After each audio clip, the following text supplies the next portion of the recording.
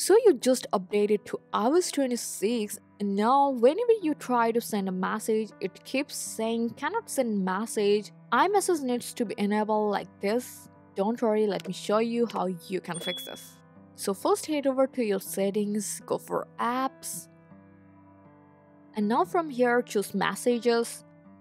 And now from here, you can see this iMessage option. Just turn it on and if your iPhone asks for your Apple ID, that's normal because sometimes iMessage needs your account to verify before it works.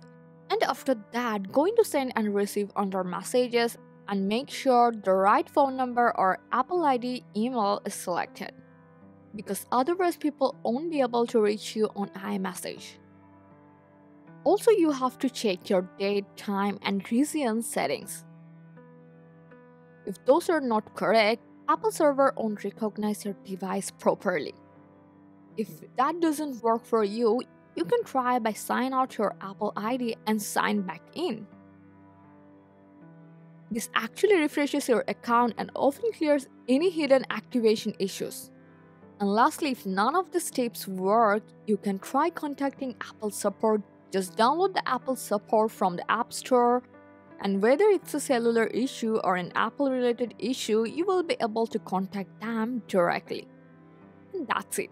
I hope this guide helped you a lot. Thanks for watching.